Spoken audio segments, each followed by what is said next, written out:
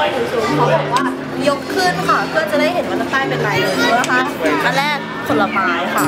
อ่าเห็นไหมออกมาเขาจะมีสปอชมีเอ่อพริกหยวกนะคะแล้วก็มีมะเขือเทศอ่าดอกไม้อ่าแดนเดเลียนแต่เป็นไทยน่าจะดอกอะไรเอ่ยกระดังงาพวกนี้บ้านเราไม่ใช่กระทังงา มาดูอันนี้ตื่นเต้นมากลิฟูซีอันแอนิมอล Animal สัตว์นะคะกระจกค่ะเราเองค่ะเออมนุษย์นะคะอ่าเขาบอกว่าคุณนะคะเป็นสัตว์เลี้ยงลูกด้วยนมนะคะ ซึ่งเป็นส่วนหนึ่งของอาณาจักรสัตว์นั่นเองค่ะแสดงว่าเราก็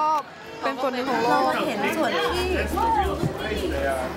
มากเลยนะคะเขาบอกว่าเป็นสัตว์ที่ครั้งหนึ่งเนี่ยเคยมีชีวิตมาแล้วแล้วมันก็ถูกเก็บเอาไว้นะคะด้วยเหตุผลหลาย ๆ อย่างกันนะคะบาง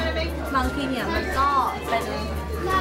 สิ่งคอลเลกชันที่อยู่ในพิพิธภัณฑ์นี้มานานแล้วบางทีนะคะก็ได้รับการบริจาคมาที่จะเห็นว่าอุ้ยขนาดใหญ่มากเฮ้ยมันใหญ่ขนาดนี้จริงเหรอ แสดงว่าโอ้ยน่ากลัวมากเลยเนาะ ถ้าเราไปทุ่งแอฟริกาจริงๆแล้วเราไปเจอสิงโตตัวขนาด วนสัตว์เราไม่ใหญ่เท่านี้อะอันนี้นะคะเราก็มาอยู่ในอีกส่วนหนึ่งนะคะ ของชั้นใต้ดินพิพิธภัณฑ์นี้เพราะว่านี่คือไดโนเสาร์ยักษ์ค่ะ อ่า เราก็มาดูที่นี่นะคะ แทนที่จะไปดูที่ขอนแก่นหรือพการศิลป์ที่ไทย แต่ตรงนี้นะคะก็มีสวนยักษ์เหมือนกันค่ะว่าเป็นในเรื่องเสือสีฟ้าเลยตัวใหญ่มากค่ะ น่าจะเป็นปลายเซนท็อปนะคะ ใช่แล้ว